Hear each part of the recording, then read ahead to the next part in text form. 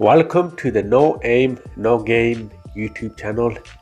Ellsworth Bumpy Johnson was a notorious African American gangster in Harlem, New York. During the mid 20th century, his involvement in the criminal underworld put him at odds with many other criminal figures, including the powerful Lucchese crime family, one of the five families that dominated organized crime in New York City. Here's a detailed yet easy to understand explanation how Bumpy Johnson took on the Lucchese crime family and the lessons we can learn from his story. Bumpy Johnson versus the Lucchese crime family. Background and Bumpy Johnson. Bumpy Johnson rose to prominence in the 1930s and 40s. He was known for his intelligence and strategic thinking and ability to navigate waters of organized crime. He controlled much of the illegal gambling operations and narcotics trade in Harlem and he had a reputation for being ruthless and generous. Johnson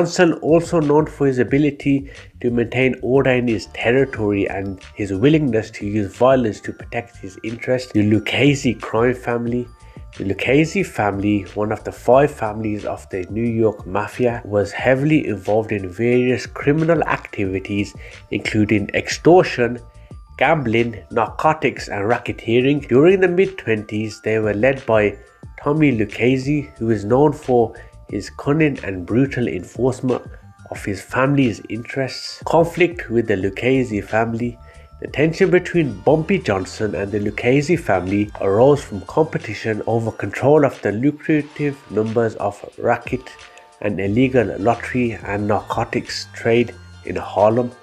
The Lucchese family, like many other families, sought to expand their influence and control over these profitable operations, which brought them into direct conflict with Johnson who has fiercely defended his turf, strategies and tactics, alliances and negotiation. Johnson, known for his ability to forge alliances, he sometimes worked with other mobsters, including some Italian American gangsters, to secure his position. He negotiated terms that allowed him to maintain control over Harlem while ensuring that the mafia families, including the Lucchese family, got a share of the profits from the operation's use of force Bumpy Johnson wasn't afraid to use violence to defend his territory. There were instances where his enforcers clashed with those of the Lucchese family. His reputation for being a formidable opponent deterred some attempts by the mafia to encroach on his operations directly. Community support Johnson cultivated a Robin Hood like image in Harlem, providing financial assistance to the poor and standing up to police brutality, this community support helped him maintain a strong base of local power, making it harder for external forces like the Lucchese family to undermine his control. Lessons from Bumpy Johnson's story Strategic alliances are crucial.